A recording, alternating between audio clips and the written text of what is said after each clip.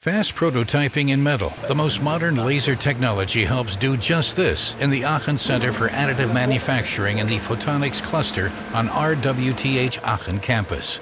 In just 20 minutes, a shaft balancing clutch is produced with 3D printing.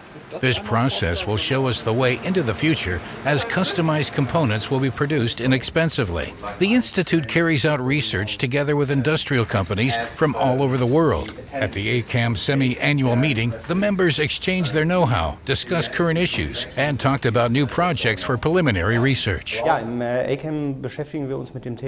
additive Fertigung, also dem schichtweisen Aufbau von Produkten. Ähm, im Gegensatz zu den klassischen Verfahren, bei denen subtraktiv gearbeitet wird. Und wir tun das nicht nur mit den, zu den Verfahren selber, sondern wir beschäftigen uns eben auch mit den äh, vorgelagerten und nachgelagerten Prozessen.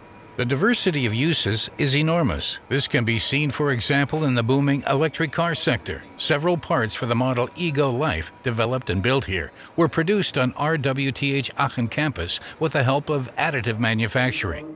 The automobile sector is just one of many industries for which additive manufacturing has become the key technology. This can easily be seen in the diversity of leading industry representatives at the 3D Valley Conference. The campus philosophy allows the participants to exchange ideas intensively in an industry with great competitive pressure. I think if, if you were to take a, a company like ours, a very large company, it's not so easy to find uh, collaboration, sometimes with the supply chain and also your competitors.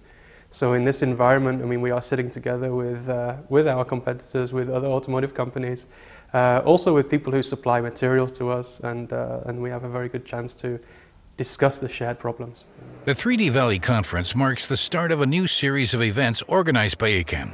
The center aims to help the like-minded network and gather information at the industry exhibition. Managing Director Dr. Johannes Witzel points to the enormous potential of the industry.